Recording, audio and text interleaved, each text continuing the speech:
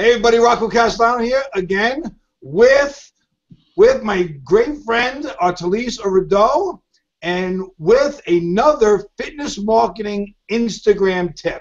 So Artelis, what is on the on the agenda uh, today? Well, you tell me. I mean, we have so many topics to go over. Like, what what have you been? What has been coming up for you? I know that we've been going back and forth, and we have so much to talk about. I don't even know where to start. So you tell me because I ha- I can talk all day about this. oh, and that's and that's really the problem, isn't it? I love it. so, so so let's talk about, you know, one thing that's coming up a lot is let's talk about your bio, like your front door, your Instagram account. That's something that I get a ton of questions about. And guys, I check, I mean, I eat, sleep, and breathe Instagram lately, and I'm on a ton of fitness accounts. You know, I have my own weight loss success account that I, I'm always in. And guys, you're not telling your clients or you're not telling potential clients where they can find you. You're not giving them any information. You're just you know, talking about yourself and, and saying what you like, but you're not giving people a way to contact you. You know, if you have meal plans, if you have your own specialty workouts, or you know, you have a an actual brick and mortar business where you train clients, you need to tell people where to find you. You need to either add a phone number or tell them to contact you by email or leave a link to your business. I cannot tell you how many people get caught up in the oh, here's a selfie and here's me at the gym and this and that. And then I couldn't even contact him if I wanted to. And so it, it becomes a numbers game. And I really strongly suggest that you forget about the numbers and you really like treat this if you're wanting to market, you start treating it like a business. You know, um, I've seen a bunch of fitness accounts that make their account private, and I can't see this person says they're a personal trainer or that they have this awesome workout and check out my ebook and everything, but I can't even look at what you're offering. So guys, your pro profile and your bio is like it's your storefront. So what is your saying? You know, I look at thousands of accounts a day and it's just the ball that a lot of people are dropping and if I can't find something on your page, I'll search a hashtag and go to someone else's. If I'm looking for a, a, diet ebook or how to lose 30 pounds or, you know, and you don't give me your link and you don't give me your information, guess what? Search another hashtag, find someone else that's posting about it, and they just got my sale.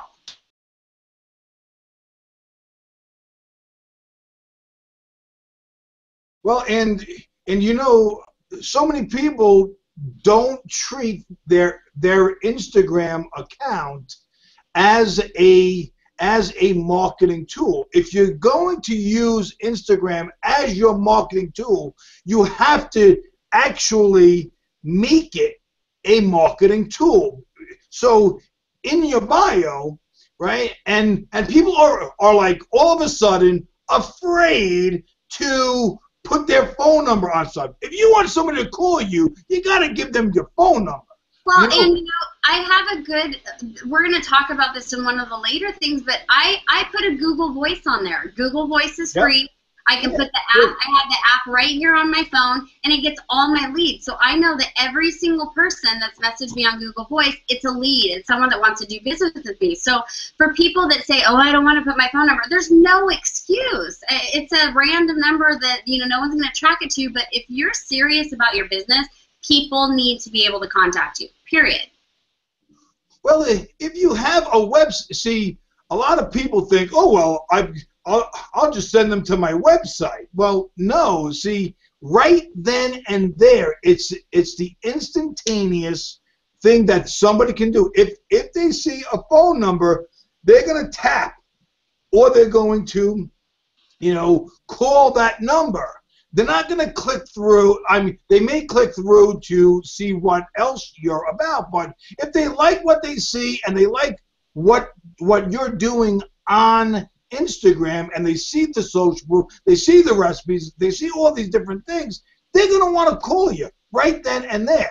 So, and almost, I'm going to tell you, because this is a this is a secret like little tip that we're giving you. No one puts their phone number on their Instagram account. No one. Not I mean, and I used to not do it because I was like, oh well, you know, I don't want idiots calling me all the time. Guess what? I You do want people calling me all the time. You know, and and I always I always say like shoot me a text. Like I I I, I promote a lot on my Instagram accounts, and so I always say shoot me a text at, and people are freaking out. you know how many people are on Instagram? You just gave your account. I'm like, it's a Google Voice number. It goes. It doesn't matter. But I get a ton of texts of people saying, hey, what do you have? And then I have their number because they sent me a text, so I can call them. It's like the easiest free referral system ever. I love it. It's so funny because people get so worried. Oh my, they can track you. They can do this. They can do that. What about? You know what?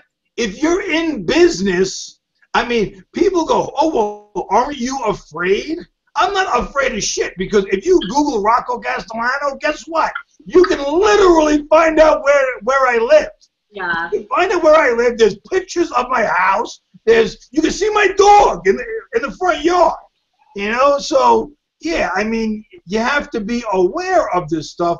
But there are, you know, like I use, you know, I use a a box for for my uh like all my mail. You know, like Uh-huh. for all my mail to be sent to, so that people can't see where I live. But if you if you get my address, you can literally see where I live. But you take precautions. Google Voice is the best thing in the world to get and You actually can put different phone numbers, you know, like to track those leads. So the the Instagram Google Voice, you'll know, hey, all these leads came from Instagram. All these leads came from my website. I All have these leads. Rocco, I have 94 leads right now on my Google Voice just from Instagram. Currently, today, right now, 94 leads. And had I not put that number, you know, in a couple messages, I don't have mine currently in my profile because I'm really pushing people to my website, which we'll talk about in a little bit. But Yeah. I always put it in the messages. I say, hey, if you're interested, text message me. And I have 94 people that have text messaged me. So it works. It's just taking action. Well, and not to be afraid. You know, you can't be afraid to do business. Yep. That's the that's the message here. Don't be afraid to do business. You know, if you were out at a party and you handed somebody your business card, or you can say, "Oh, I I got to scratch out that phone number so that you don't." yeah, it's true though. I'm telling you, bio, your bio is your lifeline. I say this in every training I do. Your bio, your bio, your bio. You need to tell people who you are, what they can expect, what you provide. You need to give them either a phone number or an email, and you have to put your website. I cannot tell you how many people don't do that. Trust me, if you just take a few minutes to explain what you're about and let people know what you offer, your leads will not stop. I mean, there's 200 million active users a, month on Instagram. You're going to get leads if you put your information out there. Well, and one of the really great things is that in our uh, program, Instagram for Fitness Pros, we actually go step by step by step through that bio process. Because I have to tell you, last night, right, I was looking at my profile and I was like, what a stupid profile. I, mean, I like literally said that to myself. I I, no one's going to really look, you know, and I'm like the guy that is that is different than everybody else. So Yeah. I don't I don't really look at when I, I look at me, I'm like, okay. Now there's a lot of other people that say fuck now and and use or you know try to be authentic, you Yeah. know, but you know, it's funny because when I looked at my profile and my bio, I was like, this, I have to change this. So so I was so all the stuff that like you you taught me about the bio, I did, and now my bio looks totally different than everybody else's, and it's it's. I actually look at my bio and I laugh because but nobody else is like mine. You and people know what to expect. They, they know, you, you know, it, it makes it stand out. When you're scrolling through and looking at people's profiles, those are the things that stand out. Something that someone that took a minute to tell about themselves and what they offer. You need to let people know what you can offer them. You need to let people know what you have available. If you have a product, if you have a, a program, if, whatever it is, you got to tell people. Well, and and one of the things that I did do that that I think was so important for leads is to, and I always tell people this, but you know what? Sometimes the cobbler's kids have no shoes. And you know, like you know, I can teach. You know, I've taught so many different things, and I always say this to people, but then I don't even listen to myself sometimes. You know, you're like, oh, oh yeah, I should have, I should have known that. Well, you know what? I wasn't thinking in my own head. I was thinking for somebody else. Yeah. Right? And the thing is, I put, I put a directive in my, you know, in my bio. So, so get the fitness, you know like get the 10 fitness marketing tips for Instagram. So now when you say that, they click on that link and they get whatever you you are trying to get them to opt in for or to go and see. Exactly. I have an emoji that's a finger down like this, and it right. says click below for XYZ. I change it out all the time, but I'm telling you, you have to use calls to action. Click the link below. Tell them what to do. People are used to being told what to do, so do it. Say, I want you to click this link. Do it. Well, and and I always say, direct, don't ask. Yeah. You know, direct them to where you want them to be. That's it. Absolutely.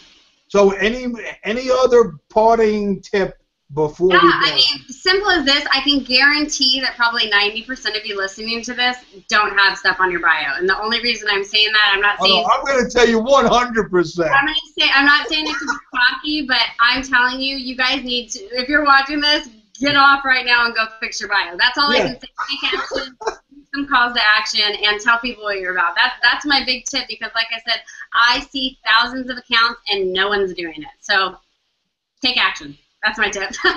You're always way too nice, man. I'm giving you, I'm telling you 100%. Yeah. Well, it makes a huge difference, though, I'm telling you. So, guys, get off this right now and go change your bio. Click that little edit button and tell people what you're about and tell them what to do. Give them some instruction.